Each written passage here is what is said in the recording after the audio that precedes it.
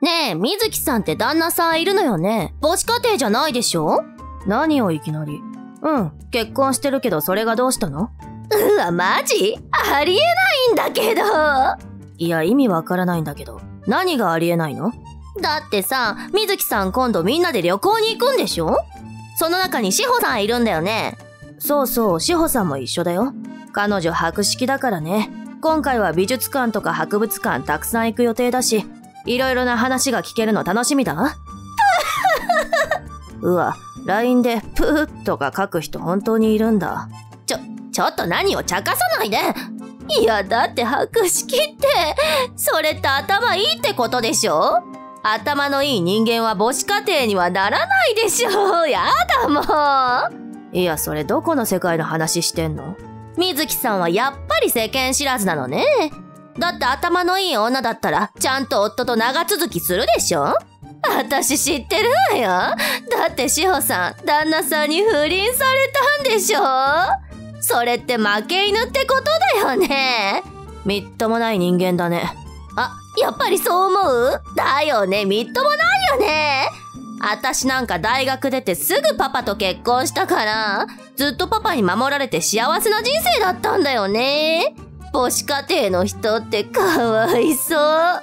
いや、みっともないって言ってんのはひとみさんだけど、頭大丈夫か？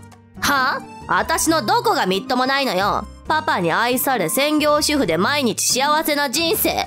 水木さんは働かなきゃいけないからって嫉妬しないでくれる？いや、幸せな人生を送ってる人がさ、ここまで意味不明な理由で人を攻撃するか？ないわ。家庭かどっかに不満があるのかもしれないけどさ。だからといって他の人に当てるのやめなよね。な、何よ？なんで理解できないのかな？頭悪い。水木さんだって子供の教育に悪いと思わないの？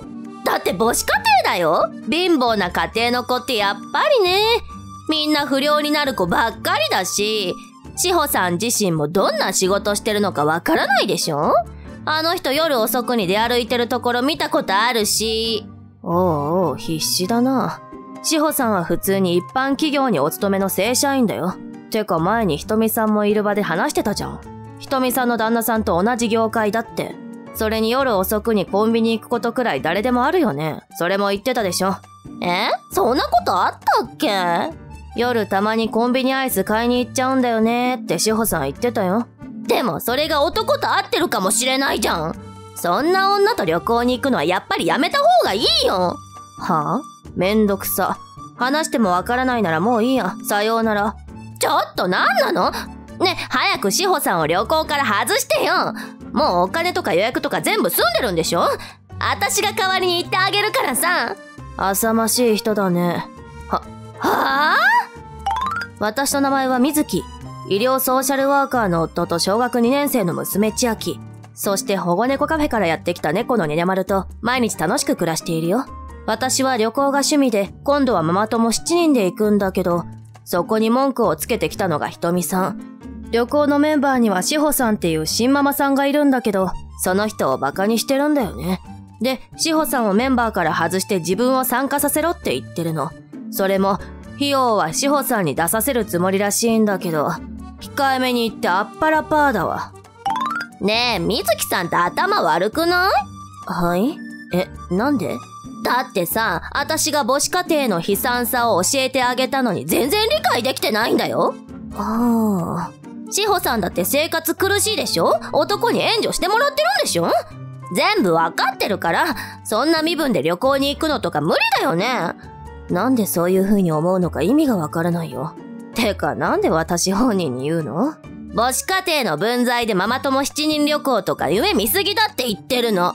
ずっとパパに守られてきた私が行くべきだから引っ込め友達いないの？え？いや別にもう大人だし友達はいなくていいと思うんだけどさ。ママ友旅行に行きたいなら自分の友達と行けばいいじゃない。なんでわざわざこっちに来るの？だから母子家庭のくせに貧乏なんだから新ママで社長やってる人、私何人も知ってるよ。ひとみさんの旦那さんと比べ物にならないくらい稼いでいる人もいるし、そんなこともわからないの？世間知らずにも程があるでしょ。あ、私のことバカにするつもりなの？あんたなんか男に捨てられた寂しい女のくせに。あのね、元旦那とは親同士が決めた結婚だったの。それから双方の親が亡くなって、お互い円満離婚したんだよ。これからお互いの人生を取り戻そうってことでね。何よそれ。旦那さんの不倫が原因でしょ？なんか勝手に勘違いしている人がいるみたいだけど、彼は不倫なんかしてないよ。離婚した後も子供の親として頻繁に会ってるし。そんなのおかしい人によって色々と都合はあるものだよ。私は結婚してからずっとパパに守られてきた。だから何よ？なら、旦那さんと行けばいいでしょ？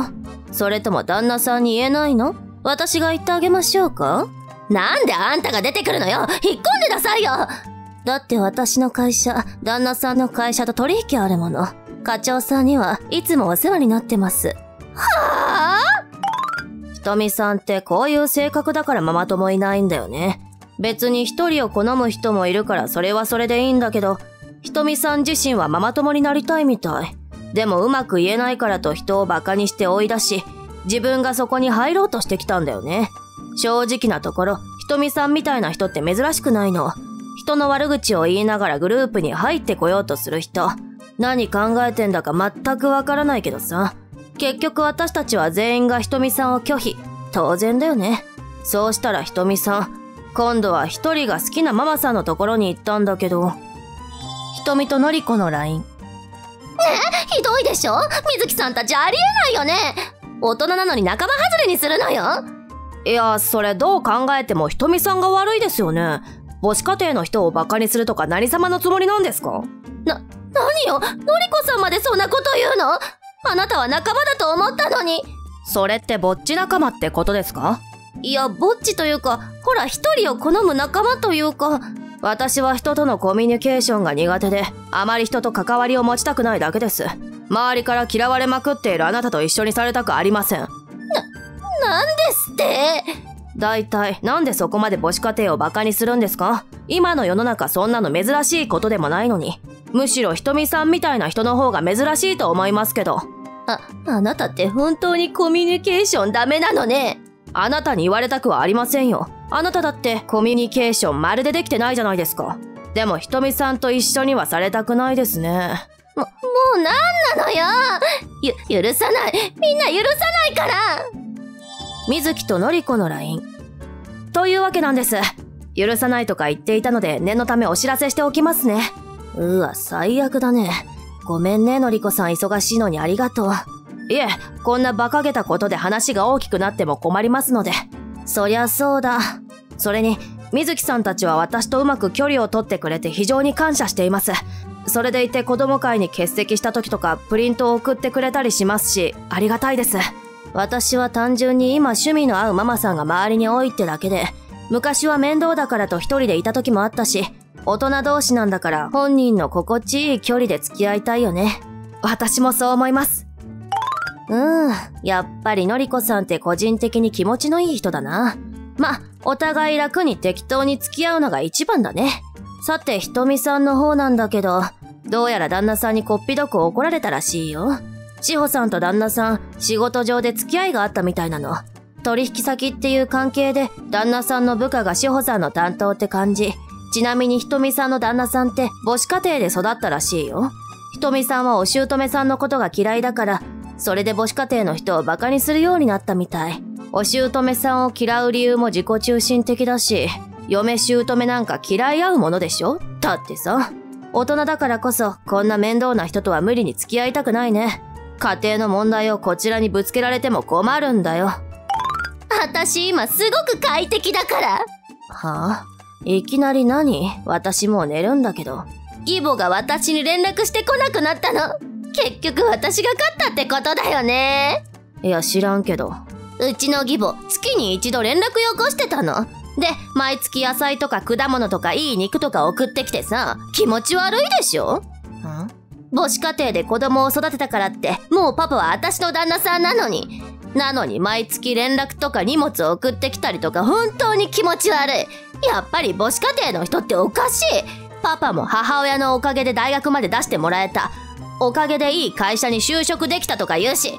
何それお姑さんに対する嫉妬なの？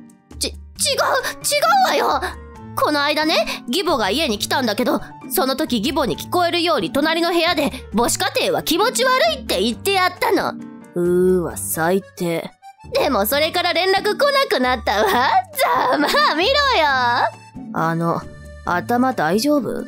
パパは絶対に渡さない。パパは私のものなんだから。その後、まあこんな状態で結婚生活がうまくいくわけないよね。最初は旦那さんも結婚した相手だからとひとみさんをかばったの。でも、理不尽に自分の母を責めるひとみさんを見てさすがに幻滅。もともとひとみさんは旦那さんに対して執着することが多く、お子さんに対してはあまり興味がなく、そんな状態だったから離婚することになったんだ。まあ実際に離婚するまではかなり揉めたんだけどね。もともと人に執着しやすい性格だったんだろうな。だからといって他人を攻撃したらそりゃこうなるわ。お子さんもパパを選んだし、実家も呆れ気味で受け取り拒否。今は住み込みで働ける工場で働いているらしいんだけど、かなり環境は悪いみたい。ま、そこでお友達が見つかるといいね。私たちはというと、本当に相変わらず。あ、そういえば志保さんは元旦那さんと再婚することになったんだ。もともとは親同士が決めた結婚で、その後離婚はしたけど、やっぱりお互いこの人しかいないって思ったんだって。のりこさんは一人で毎日図書館通いながらパート。とにかく読書が好きで時間をかけたいって言ってたっけ。私は千秋やにゃにゃまると一緒に暑い暑い言いながら平凡な日常。ま、こういうのが幸せって言うんだろうね。最後まで見ていただいてありがとうございました。チャンネル登録、高評価をお願いします。それでは次回の動画でまたお会いしましょう。